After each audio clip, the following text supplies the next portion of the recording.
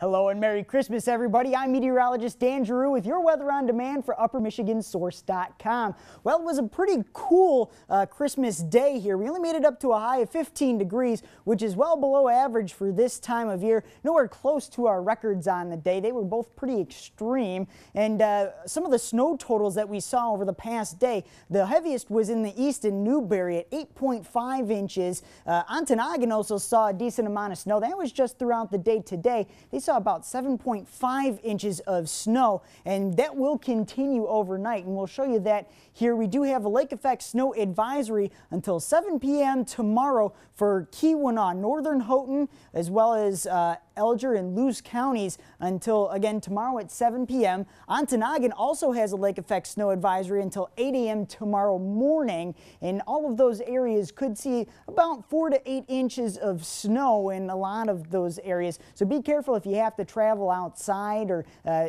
give yourself some extra time out on the roads as well. So uh, right now on satellite and radar, we're not looking at too much snow developing right now. It'll happen a little bit later overnight. It is snowing here in the western portions of the upper peninsula if it is uh, only light in nature, but uh, it's not being picked up on the radar at this time. Otherwise, just mostly cloudy. And we have to zoom out to see some of the closest snow here in the Great Lakes. And that's where most of the snow is across the United States.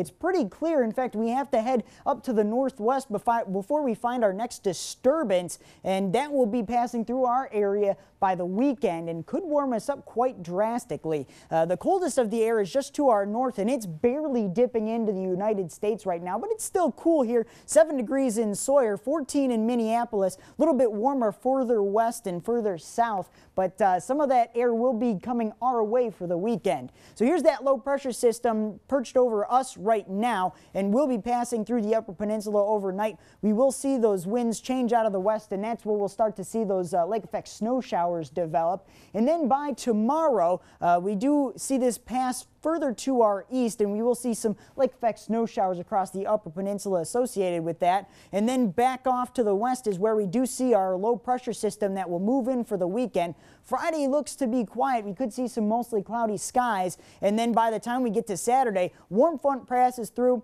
the Upper Peninsula, and we could see temperatures close to 30 degrees in some areas, so it could be pretty warm as we get into the weekend. Uh, now for tonight, we'll see our temperatures in the single digits. Snow in the north along those lake effect snow belts uh, where we will see those westerly winds come off of the lake and see those winds at about 5 to 10 miles, 5 to 15 miles per hour, and uh, some mostly cloudy skies in the south with a slight chance of a snow shower. For tomorrow, temperatures get into the low to mid teens with some snow showers showers in the north associated with that lake effect, and then mostly cloudy skies in the south with some winds out of the west at about 5 to 10 miles per hour. In your TV six day forecast, we warm up for the weekend, but then as we get closer to New Year's, it's going to be a bit more a bit frigid and so expect our temperatures to be cold as we start our new year. Merry Christmas everybody.